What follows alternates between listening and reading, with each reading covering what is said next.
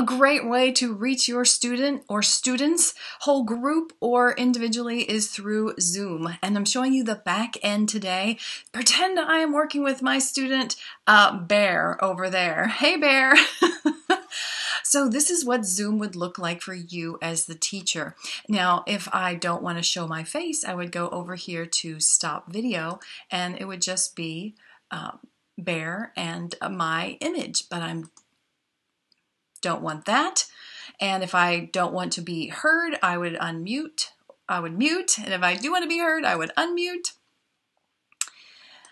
Um, and to, at the very basic, you have now connection with your student and you can do anything that you can do, you know, in person with them, you can, that you can show them, you can do the same things with um, the screen of with Zoom. So say you were using um, your Read It cards. These are uh, classic reading simplified activities for kids working at short vowel words, one syllable words. And so I might tell um, the bear, hey bear, I want you to help me read this word. Okay, let me bring it close to the screen. There we go. What is the word? That's right. So Bear said, best. Thank you, Bear. And that's one way. So you can, of course, show um, cards. You can also show text. This is old fashioned, but it can work. Now, um, the next way that you can use Zoom together with your students is by sharing your screen. So you're going to go down here to share. And all the different tabs and applications you have will be open. I'm going to use this one. And I click share. Maybe I want them to play Switch It with me. And I'm going to use this activity, um, this tool, reallyGreatReading.com at Letter Tiles. It's free right now, so I'm going to have them help me. Okay, Bear, we're going to build the word smell. Um, what's the next sound? We've already got s built. What's the next sound we need to bring down to make smell? We have s. What's next? Bear says eh, so I bring it down for bear, so that's one way of doing it. If you really want to get fancy, you could share the cursor with bear and give mouse keyboard control to someone else. Give it to the, a child one at a time specifically. So that's a way for your student one at a time to control your screen pretty mind blowing. But Bear's not that good, so I'm not going to give it to Bear right now. Um, so sharing your screen. Let's play um, this game. If you shared your screen and had remote control, you could um, have your students do um, Sort It type activities. This is like the O sound, so maybe they're going to play match um, in Quizlet, a fabulous program for making all kinds of games. So it's kind of sluggish here because we're also recording and we're on Zoom. It's very meta. Okay, make everything disappear. Drag corresponding items onto each other to make them disappear. So I would have given, yeah, thanks, Bear's helping out. He's going to control the mouse this time. Maybe I'm giving him more trust. Toad goes over here and soaked. What is soaked? Oh, she looks soaked. And bow and arrow goes over here. So we're reading the words, and if bear gets stuck, oh, that's a tricky one. Um, this is what that O right here. This is that O that separated, but try the O sound after the m, m mole. That's right, mole. Which one's mole?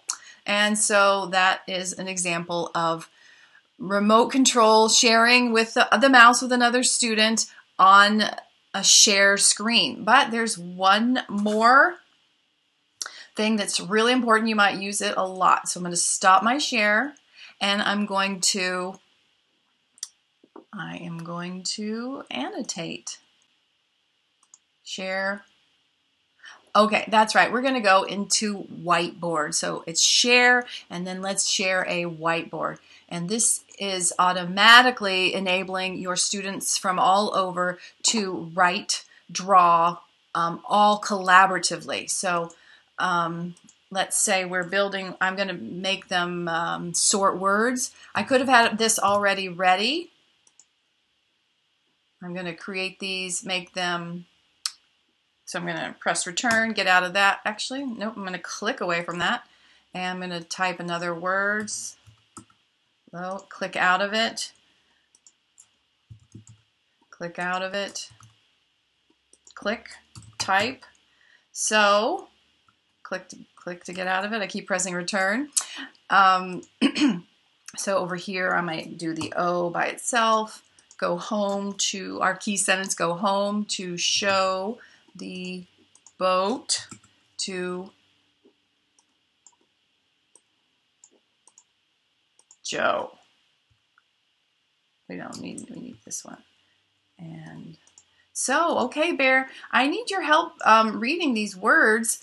And the first word right here at the top, can you help me read? These are all O words, remember? And Bear is going to read the word boat. And Bear is then going to drag the O sound, the O word. Well, I think there's a way to drag. Oh, I got to get select. Get the select tool. There we go, right here. Bear's going to choose select, and Bear drags the word into the right column. Boat. Ah, that's right, Bo. Bear.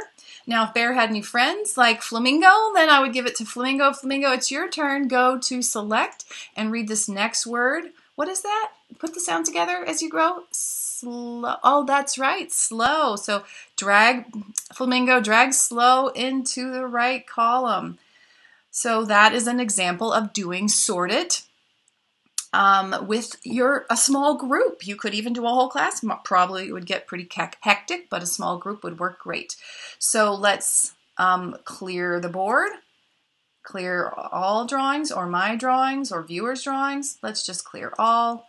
And now I'm going to ask um, Bear to help me again. Bear, I would like for you to, to type out the key sentence for the O sound. what is it? Remember to click on the text, the T for text, and start typing the key sentence, okay? Bear, you can do this. And he's going to say, go home to show the boat to Joe. Way to go. You remembered the whole thing. And the only um, uh, fix is the O in show. So I'm going to go to, as a teacher, I'm going to go to the spotlight. I'm going to go over here and draw attention to this. This is actually not the right, right O for go home to show the boat to Joe. Let's fix that. This is the O in show. Remember that? The same O is in slow and is in grow. So we're going to need to go back and to this and fix it. We'll select this and we'll stick it over that, which is not the best.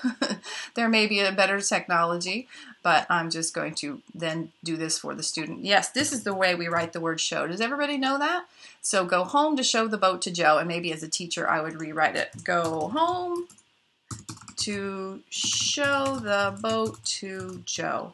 And the last thing that we can do, a classic reading simplified activity after we've done some of this, write it. This is an example of write it is then to um, underline um, or highlight in some way the target spelling. So let's have some fun.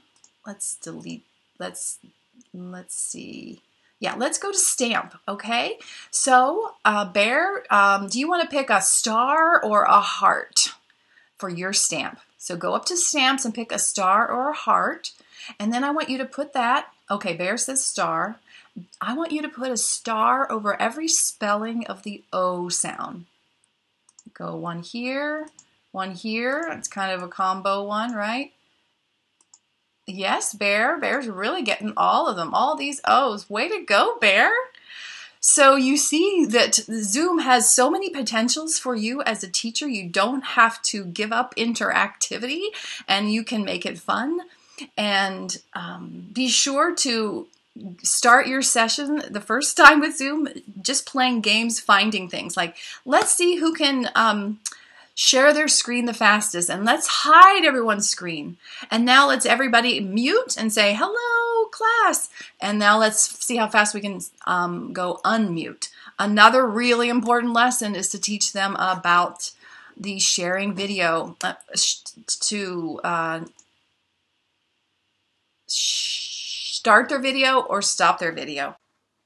So when you are coaching kids through the functionality and you're wanting to make sure that they don't share something on the screen that they don't intend to, make them understand that even if they don't see themselves on the screen, like if they're looking at the Zoom call on a mobile, they may not see themselves. And sometimes, even if they're using a computer, um, Zoom will only show some of the faces. So other people may see them, but even though they don't see themselves. So if that start video button is on, if the green light is on a computer showing that there's a video running, don't pick your nose. Make sure you certainly don't take this device to the bathroom assume that someone's always watching, even if you can't see yourself on the Zoom screen. So that's a little tidbit to help keep our kids safe and not embarrassed. Couple more possibilities with Zoom. Here you go. You can, after sharing your screen, you can stop share right here, the red button. And anytime before or in the middle you can start the record button and record this after you end the show. Zoom will process it for a few minutes and create a file and you can send that file to students who maybe weren't able to participate. Or you can just make a recording of the read alouds and your students can listen to them over and over again. There's a lot of possibilities so i encourage you to record these and file them in a systematic way. Um, maybe label it the date the group the activity, some sort of um, pattern that you and parents will get accustomed to and teach and students. So record is a fabulous bonus to to Zoom. Um, also, when you're sharing screen, you can do maybe our Sort It um, activity. So I'm sharing screen. I'm going to go to this uh, PDF. I already have this PDF on my computer. So I click on that and click share. And if I want the students to write on this, um, they can annotate themselves like we did with uh, another activity. They can go to text and um, they can type in words. So I might ask, um, I might ask Bear to tell me what that first word, the first word on the left is. Remember, these all have the O sound, and Bear reads it boat. That's right, Bear. Um, where does boat go? Can you type boat in the right place? And Bear would be able to type boat. So, and if he made a mistake, I would um, clear that. So that's something that kids can do. Of course, they can draw and maybe they can write by hand, but I think this is just not the ideal way of writing with a mouse. If they have a stylus, of course, let them go to it. And so any PDF that you already have, students can type on it from afar. And then finally, after we um, stop share, it's going to be time to say goodbye. So you tell everybody, and now we'll see you tomorrow at the same time. And you click end meeting, and your Zoom is over. And if you were recording it, record on this computer.